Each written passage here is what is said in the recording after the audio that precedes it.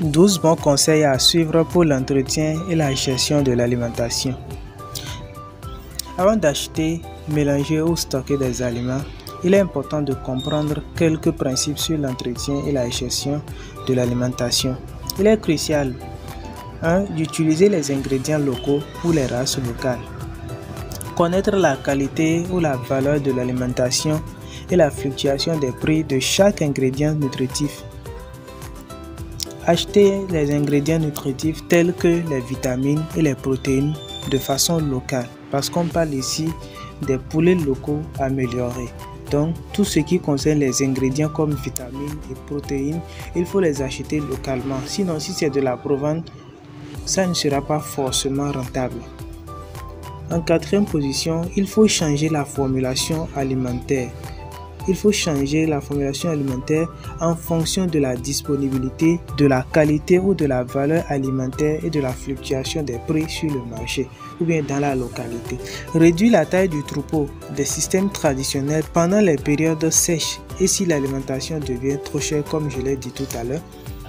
Toujours changer la nourriture lentement et petit à petit si nécessaire Mélanger des ingrédients alimentaires uniformément en petites quantités pour éviter de trop longues périodes de stockage. Ne pas mélanger une grande quantité d'aliments que les oiseaux vont manger pendant des mois viendront s'installer. Il est important de mélanger les aliments en quantité en, en petite quantité voilà pour permettre à chaque fois que les oiseaux consomment en espace d'un mois pour qu'ils finissent comme ça vous allez encore remélanger votre aliment. Avec ça vous ne, vous ne, avec ça vous ne courez pas des risques de décomposition des risques de contamination microbienne sur votre aliment. Utilisez les matériaux disponibles localement comme les boîtes de conserve de tomates ou les boîtes d'allumettes pour quantifier les différents ingrédients à mélanger.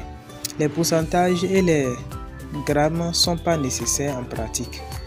Stocker les mélanges de nourriture pour les ingrédients de nourriture sur une plateforme à approximativement 30 cm au-dessus du sol. C'est-à-dire sur un endroit, c'est le sens de parler, sur un endroit à approximativement éloigné du sol, un peu comme 30 cm, empêcher l'entrée des rats, des pigeons et d'autres types d'oiseaux dans l'espace de stockage de l'alimentation. Créer suffisamment de ventilation d'air pour que les ingrédients alimentaires ne deviennent pas mouillés à cause de l'humidité. Surveillez que les ingrédients alimentaires pourris, décolorés ou mangés par les insectes ne sont pas utilisés et donnés aux oiseaux. Car les insectes sont les vecteurs de différentes maladies et si les animaux, si les oiseaux consomment ces genres d'aliments, ces oiseaux peuvent être confrontés à ces différentes maladies. Et si tel est le cas, il va falloir prendre des mesures préventives et curatives. Comment prendre ces mesures préventives et curatives? Je vous montre tout ceci sur ma chaîne YouTube. Alors si c'est pour votre première fois de rencontrer ma chaîne YouTube, et que cette thématique vous intéresse, n'hésitez donc pas à vous abonner et activer la cloche de notification.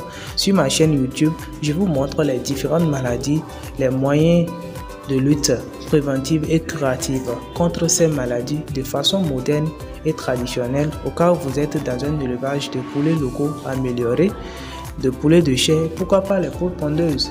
Et même les différentes maladies auxquelles vous pouvez être confronté si vous êtes dans un élevage de gros bétail ou petit bétail, c'est-à-dire les bovins, ovins, caprins et même les porcins.